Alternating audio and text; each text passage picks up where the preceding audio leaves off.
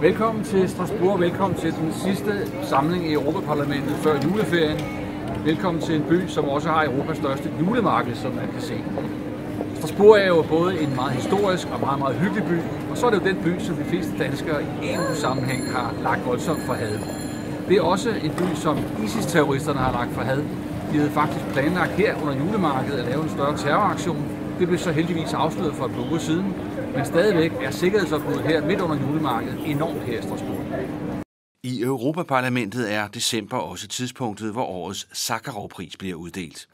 Og aldrig er prisen blevet givet mere rigtigt end til de to unge jasidiske piger, Nadia og Lamia, hvis redselshistorie er ubeskrivelig og efterlod sagen dybt, dybt rystet.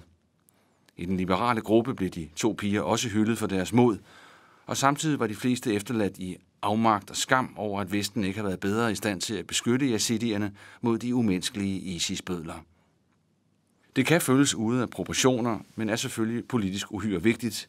Ugens andet store tema var kommissionens lancering af den såkaldte forordning 883-revision, som drejer sig om de sociale ydelser på tværs af EU-grænserne.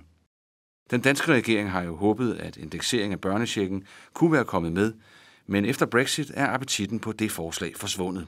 Til gengæld har man lyttet til ideen om, at en arbejdstager skal have tre måneders optjening og betalt A-kasse, før man som udlænding kan opnå dagpenge. Derhjemme er der forståeligt nok mest fokus på det, der ikke er lykkedes. Vi i Danmark har et velfærdssamfund, som vi har opbygget gennem årtier. Det, at man så kan komme til Danmark og få en børnefamilieydelse, som jo for en uh, rumænsk familie uh, vil være et markant stort tilskud til deres økonomi, det er vi altså imod. Jeg betonede også i min JP-blog, at diskussionerne ikke så meget handler om penge. Østarbejderne er faktisk en stor økonomisk gevinst for Danmark. Nej, det er et spørgsmål om rimelighed. Ja, overalt i Europa, og altså også her i Strasbourg, der diskuterer man i øjeblikket, hvordan man skal få gang i arbejdsmarkedet. Man er jo glad for, at der er kommet mennesker til Østfra, som kan hjælpe med at få fyldt alle de tomme huller ud. Altså sørge for, at øh, arbejdsmarkedet kommer til at fungere, og vi har den arbejdskraft, vi skal have brug for. På den anden side er der også mange mennesker, også her i Frankrig, som øh, bliver arbejdsløse, som mister deres job. Og vi skal prøve at finde den balance. I øjeblikket bliver det sociale område debatteret flittigt i parlamentet og også alle andre steder, fordi det sociale område bliver den nye politiske slagmark i den kommende sæson, også i Europaparlamentet.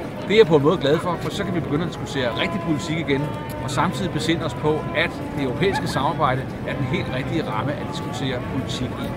Det skal være mit julegave og nytårsønske i år. Jeg håber, I alle sammen får en rigtig glædelig jul og et godt nytår. Vi ses i 2017.